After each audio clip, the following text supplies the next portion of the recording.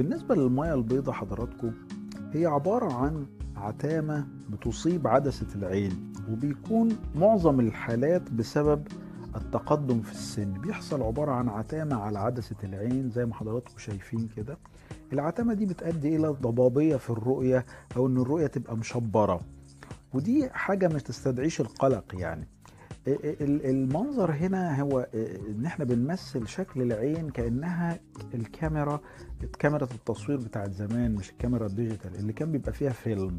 الصورة بتعدي من خلال عدسة الكاميرا اللي في المقدمة بتاعتها وبيتم استقبالها على الفيلم. كذلك منظر العين بنفس طريقة العمل تقريبا بتاع الكاميرا بحيث إن الصورة بتمر من خلال العدسة اللي هو ربنا خلقها لنا طبيعية وشفافة.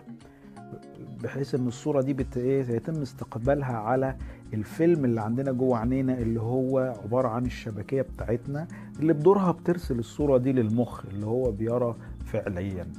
لما بتكون زي بنفس المثل الكاميرا بتاعتنا العدسة بتاعتها معتمة أو مش نظيفة تؤدي إلى إيه؟ إن الصورة اللي تستقبل بتكون ضبابية كذلك زي